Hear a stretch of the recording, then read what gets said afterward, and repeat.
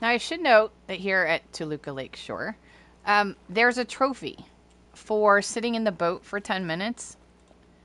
It is called Scourge of Toluca Lake, and if you get in the boat, once you gain control of the boat, for if you sit there for 10 minutes, you'll get the trophy. So that's all you need to do. So I would get in the boat, get the instructions on how to row, and then go to the bathroom, go get a snack, go phone a friend, take your dog for a walk, do something like that, and then come back. This is a pretty easy trophy to get.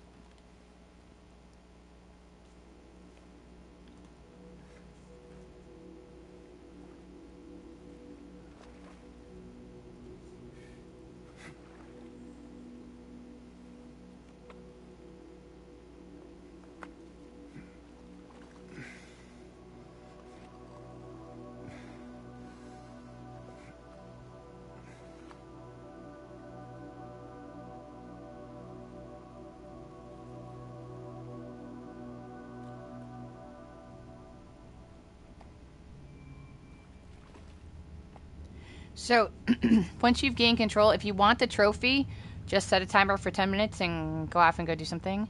And then you